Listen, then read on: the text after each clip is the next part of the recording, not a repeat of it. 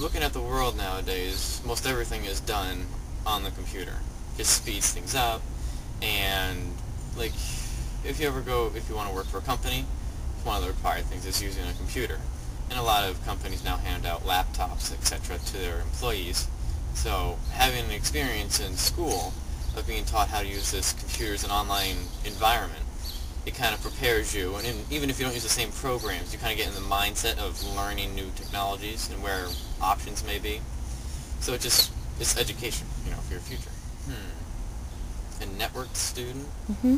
I would say it's somebody, I mean, there's different definitions, I guess, but some, you know, use Twitter and email all the time, blogging, etc. But I would say a networked student is one that uses both face-to-face meetings and virtual meetings in a way that they can further their, you know, experience and education in the world and on with life, I guess.